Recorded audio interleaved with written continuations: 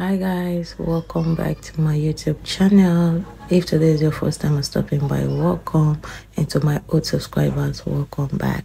So in today's video we're making banga soup.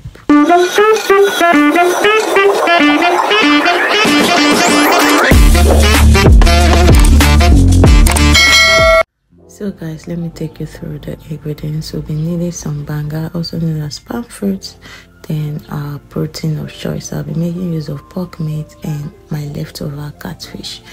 Then we'll be needing some banga spice some seasoning cubes pepper and salt to taste. Then we'll be needing some dried bitter leaves and belete so i will be turning my extracted palm nut into the pot. If you want to see the video check my channel and you will see the video of how I extracted this palm fruit. Or I'll try and link the video somewhere here. So I'm going to cover and allow to cook for some minutes before adding my protein. I'll be going with the meat first the pork meat first before adding the catfish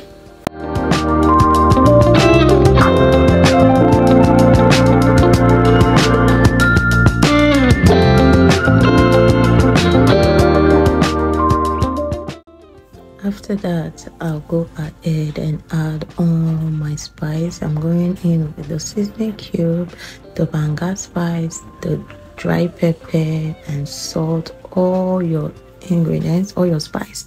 You can add them at this point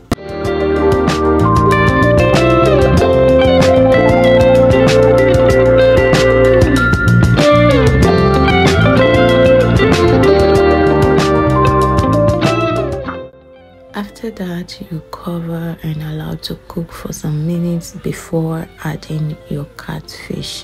Please, if you've watched to this point and you are yet to subscribe, please click on the subscribe button and click on the notification bell so you don't miss any other recipes like this and please let me know where you're watching from in the comment section so i can give you a shout out in my next video Música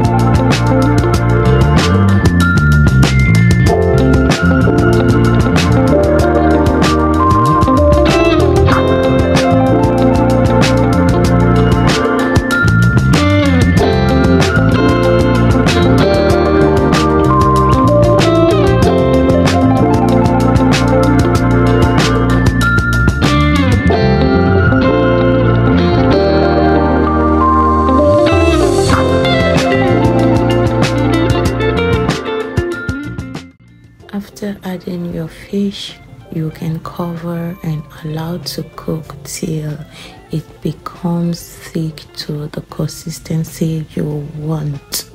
Then your banga soup is ready.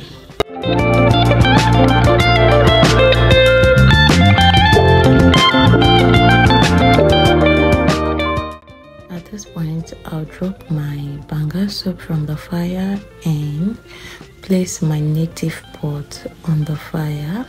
Where I come from banga soup is not ready without this step. I didn't allow my native pot to dry up. Normally you allow the native pot to dry up but I was so hungry and I didn't let it dry up.